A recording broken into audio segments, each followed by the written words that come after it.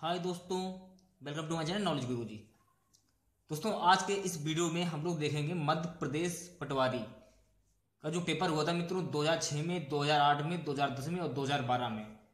उसमें जो क्वेश्चन पूछे गए थे गत वर्ष में तो उसी क्वेश्चन पेपर पे हम लोग डिस्कस करेंगे, इसमें क्या क्या पूछा गया था। तो स्टार्ट करते हैं मित्रों। जो लोग ये वीडियो पहली बार देख रहे हैं, उनसे अनुरोध है कि वो इस वीडियो को शुरू से लेकर अंत तक देखें। जो मेरे नए मित्र हैं, उनसे अनुरोध है कि वो कृपया करके चैनल को सब्सक्राइब कर लें। तो स्टार्ट करते हैं मित्रों। पहला क्वेश्चन मित्रों ये पूछा गया था कि नर्मदा नदी का उद्गम स्थल है। तो मित्रों नर्मदा नदी का उद्गम स्थल है अमरकंटक। नेक्स्ट क्वेश्चन मित्रों, ये पूछा गया था कि मध्य प्रदेश में ग्राम न्यायालयों की स्थापना की, मध्य प्रदेश में ग्राम न्यायालयों की स्थापना की राज्य सरकार की योजना के तहत प्रथम ग्राम न्यायालय ने कहा प्रारंभ किया? तो मित्रों, मध्य प्रदेश में ग्राम न्यायालयों की स्थापना के लिए राज्य सरकार ने नीमच ज़िले के छातना ग्राम में योजना को प्रारंभ किया था। नेक्स्ट क्वेश्चन मित्रों, ये पूछा गया कि मध्य प्रदेश का मोहत गाँव, नरसिंहपुर जिला क्यों चर्चित रहा? दोस्तों, मध्य प्रदेश का मोहत गाँव, नरसिंहपुर जिला इसलिए चर्चित रहा क्योंकि यहाँ के रहने वाले सभी व्यक्ति जो थे, वो संस्कृत में बात करते थे। नेक्स्ट क्वेश्चन मित्रों, ये पूछा गया था कि विश्व विख्यात खजुराहो के भव्य मंदिरों का निर्माण चंदेल राजाओं ने कराया था। तो मित्रों विश्व विख्यात खजुराहो के भव्य मंदिरों का निर्माण चंदेल ने सन 950 ईस्वी से 1050 ईस्वी के मध्य कराया था। नेक्स्ट क्वेश्चन मित्रों, ये पूछा गया कि मध्य प्रदेश का प्रथम रत्न परिषद केंद्र निम्नलिखित में से किस स्थान पर स्थापित किया गया था? तो मित्रों, मध्य प्रदेश का प्रथम रत्न परिष्कृत केंद्र है जो छतरपुर के ज़िले में स्थापित किया गया था। नेक्स्ट क्वेश्चन है मित्रों की, मध्य प्रदेश साहित्य परिषद द्वारा अखिल भारतीय वीर सिंह देव पुरस्कार किस विधा के लिए दिया जाता है? तो मित्रों, मध्य प्रदेश साहित्य परिषद द्वारा अखिल भारतीय वीर सिंह देव पुरस्कार दिया जाता है उपन्यास के लिए मित्रों।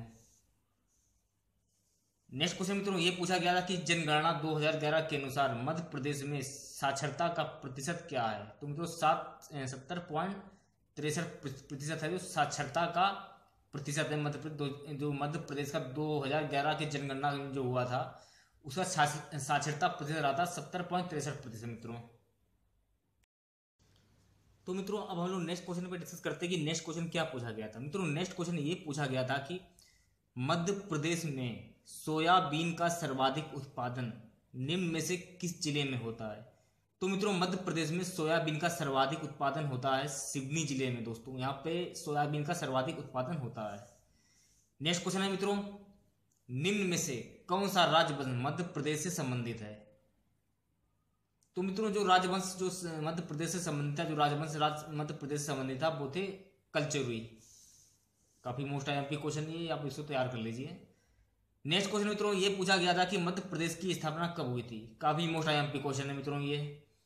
तो मित्रों मध्य प्रदेश की स्थापना हुई थी एक नवंबर उन्नीस सौ छप्पन को। नेक्स्ट क्वेश्चन मित्रों यह पूछा गया था कि मध्य प्रदेश में इकबाल सम्मान किस क्षेत्र में सॉरी मध्य प्रदेश में इकबाल सम्मान किस क्षेत्र के लिए दिया जाता है? तो मित्रों, रचनात्मक उर्दू लेखन के लिए दिया जाता है। नेक्स्ट क्वेश्चन है मित्रों, मध्य प्रदेश में सर्वाधिक ऊँची चोटी कौन सी है? तो मित्रों, मध्य प्रदेश में सर्वाधिक ऊँची चोटी है धूपगढ़। नेक्स्ट क्वेश्चन मित्रों, ये पूछा गया था कि मध्य प्रदेश में, मध्य प्रदेश में किस जनजाति में घोटुल एवं युवा ग्रह प्रथा पाई जाती है? तो मित्रों, मध्य प्रदेश में जनजाति में जो घोटुल एवं युवा ग्रह प्रथा पाई जाती है, वो है मुड़िया। नेक्स्ट क्वेश्चन मित्रों, ये पूछा गया था कि मध्य प्रदेश में होली के अवसर पर गोल कथेड़ी किस जनजाति द्वारा आयोजित किया जाता है? मैं फिर से रिपीट कर रहा हूँ, काफ़ी मोस्ट आई क्वेश्चन है मित्रों ये। क्वेश्चन था मित्रों ये कि मध्य प्रदेश में होली के अवसर पर गील गथेड़ी किस जनजाति द्वारा आयोजित किया जाता है? तो मित्रों वो भील के द्वारा आयोजित किया जाता है। नेक्स्ट क्वेश्चन मित्रों ये पूछा गया था कि मध्य प्रदेश की सबसे बड़ी जनजाति कौन सी है? तो मित्रों मध्य प्रदेश की सबसे बड़ी जनजाति है भील। काफ़ी बड़ी जनजाति है मित्रों, जनजाति है भील। काफ़ी मोस्ट आई क्वेश्चन ये भी है तो इसको तैयार कर लीजिए। नेक्स्ट क्वेश्चन मित्रों, ये पूछा गया था कि उन्नीस सौ इक्यासी की जनगणना के अनुसार, उन्नीस सौ इक्यासी की जनगणना के अनुसार किस जनजाति की जंगलियों के जंगली नाम से संबोधित किया गया था? तो मित्रों, उन्नीस की जनगणना के अनुसार जो जनजाति थी, वो थी भारिया, जिसको जंगलियों के जंगलियों के जंगली के नाम से संबोधित किया गया था। आशा करते हैं मित्रों, ये आपके समझ में आ रहा होगा। नेक्स्ट क्वेश्चन मित्रों, ये पूछा गया था कि मध्य प्रदेश का जनजातीय शोध एवं विकास संस्थान कहाँ स्थित है? तो मित्रों मध्य प्रदेश का जनजातीय एवं शोध विकास संस्थान स्थित है भोपाल में मित्रों। तो मित्रों अब हम नेक्स्ट क्वेश्चन पर डिस्कस करते हैं कि नेक्स्ट क्वेश्चन क्या पूछा गया था। नेक्स्ट क्वेश्चन मित्रों ये पूछा गया कि राज्य का सबसे बड़ा रे, रेलवे स्टेशन कौन सा है? तो मित्रों मित्रों राज्य का सबसे बड़ा रेलवे स्टेशन है इटारसी। नेक्स्ट क्वेश्चन मित्रों ये पूछा गया कि खुजराव में कुल कितने मंदिरों का निर्माण किया गया था? तो मित्रों खुजराव में कुल पचासी मंदिरों का निर्माण किया गया था। काफ़ी मोस्ट आई क्वेश्चन है मित्रों ये। नेक्स्ट है मित्रों क्वेश्चन की, ओरछा राज की स्थापना किसने की थी? तो मित्रों, ओरछा राज की स्थापना की थी राजा रुद्र प्रताप ने मित्रों। नेक्स्ट क्वेश्चन मित्रों, ये पूछा गया था कि मध्य प्रदेश राज्य महिला आयोग का गठन कब हुआ था? हुआ था। तो मित्रों, मध्य प्रदेश राज्य महिला आयोग का गठन हुआ था उन्नीस सौ अठानवे ईस्वी में। नेक्स्ट क्वेश्चन मित्रों, ये पूछा गया कि गुजरात के सरदार सरोवर बाँध में मध्य प्रदेश की साझेदारी कितनी है? तो मित्रों, गुजरात के सरदार सरोवर बाँध में मध्य प्रदेश की कुल साझेदारी है सत्तावन प्रतिशत। आई होप मित्रों, आपके समझ में आ रहा होगा। नेक्स्ट क्वेश्चन मित्रों, ये पूछा गया कि प्रदेश का एकमात्र जीवाश्म उद्यान कहाँ है? तो मित्रों, प्रदेश का एकमात्र जीवाश्म उद्यान है डिंडोरी में। नेक्स्ट क्वेश्चन मित्रों, ये पूछा गया कि मध्य प्रदेश का राजकीय पुष्प क्या है? तो मित्रों, मध्य प्रदेश का राजकीय पुष्प है मोगरा। काफ़ी मोस्ट आई क्वेश्चन ये भी है मित्रों, इसको भी आप तैयार कर लीजिए। नेक्स्ट क्वेश्चन मित्रों, ये पूछा गया था कि मध्य प्रदेश के जबलपुर ज़िले के भेड़ाघाट क्षेत्र में किस प्रकार का संगमरमर प्राप्त होता है? फिर से रिपीट कर रहा हूँ, काफ़ी मोटा क्वेश्चन है मित्रों ये।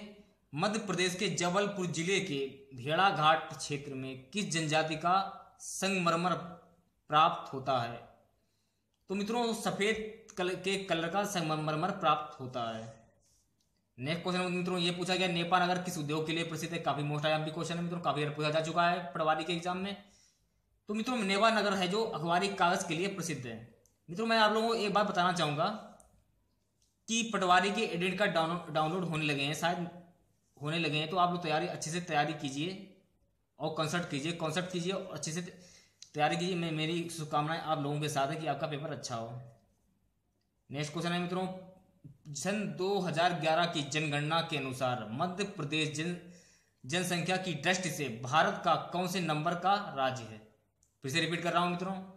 सन 2011 की जनगणना के अनुसार मध्य प्रदेश जनसंख्या की दृष्टि से भारत का कौन से नंबर का राज्य है? तो मित्रों, छठे नंबर का राज्य है।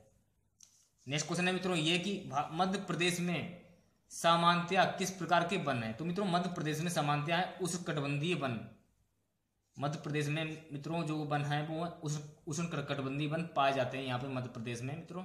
काफ़ी मोस्ट आई क्वेश्चन ये भी, इसको भी आप तैयार कर लीजिए मित्रों। तो मित्रों अब हम लोग नेक्स्ट क्वेश्चन पे डिस्कस करते हैं कि नेक्स्ट क्वेश्चन क्या पूछा गया था।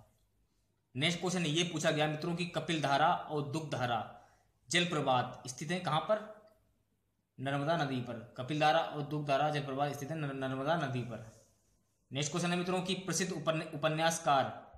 प्रसिद्ध उपन्यासकार वृंदावन लाल वर्मा ने अपने उपन्यास मृगनैरी में किस राजा का चरित्र चित्रण किया है? काफ़ी मोस्ट आई क्वेश्चन है ये भी मित्रों, इसको भी तैयार कर लीजिए। तो मित्रों मित्रों, प्रसिद्ध उपन्यासकार वृंदावन लाल ने, वर्मा ने अपने उपन्यास मृगननी में राजा मान सिंह तोमर का चरित्र चित्रण किया है। नेक्स्ट क्वेश्चन है मित्रों की, शेर का आबादी का सर्वाधिक घनत्व, निम्न में से मध्य प्रदेश के किस राष्ट्रीय उद्यान में है? तो मित्रों, शेर का सर्वाधिक घनत्व है जो मध्य प्रदेश के बाधवगढ़ राष्ट्रीय उद्यान में है मित्रों।